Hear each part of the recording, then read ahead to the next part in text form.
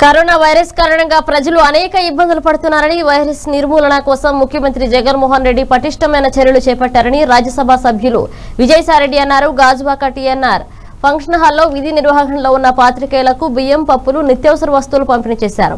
ఈ కార్యక్రమానికి గాజువాక శాసనసభ్యులు తిప్పల నాగిరెడ్డి అధ్యక్షత వహించారు. ఈ కార్యక్రమంలో మంత్రి Avanthi Srinivas Visakhapatnam MP MVV Satyanarayana UDA chairman Dronamraju Srinivas Tippala Gurumurthy Reddy Tippala Devan Reddy YSRCP నాయకులు కార్యకర్తలు పాల్గొన్నారు. చాలా పెద్ద ఏరియా నియోజకవర్గం. వివిధ ప్రాంతాల నుంచి ఇక్కడికి వచ్చి ఇక్కడ స్టీల్ ఫ్యాక్టరీలను మిగతా పరిశ్రమల్లోనూ పనిచేస్తూ చేసుకుంటున్నటువంటి కార్మికులు ఉన్నటువంటి ప్రాంతం. గౌరవ ముఖ్యమంత్రి వర్యులు ఒక విషయాన్ని చెప్పారు. ఏ ఒక్కరు కూడా తిండికి కానీ బట్టలకు కానీ ఉండేదానికి వసతి కానీ వైద్యానికి కానీ ఎటువంటి అసౌకర్యానికి గురి కాకూడదు.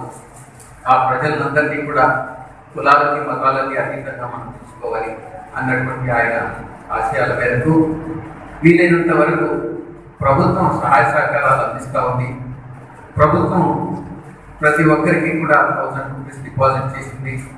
అది కాకుండా నిత్యావసర సరుకులన్నింటినీ కూడా అందిస్తూ ఉంది.